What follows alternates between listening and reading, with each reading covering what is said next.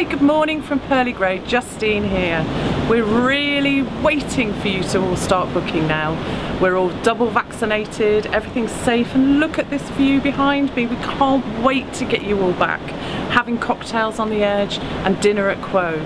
But in order to do that, we need all of you fixed owners to start booking, start using your time. We've got such a backlog of people waiting to use time. Internal exchange is going to be difficult over the next few years.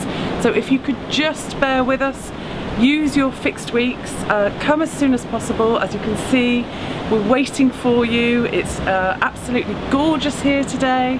And also, um, if you could possibly start confirming whether you're coming or not because we've had a lot of confusion over whether people are coming or not and we need to know those numbers in order to open the facilities.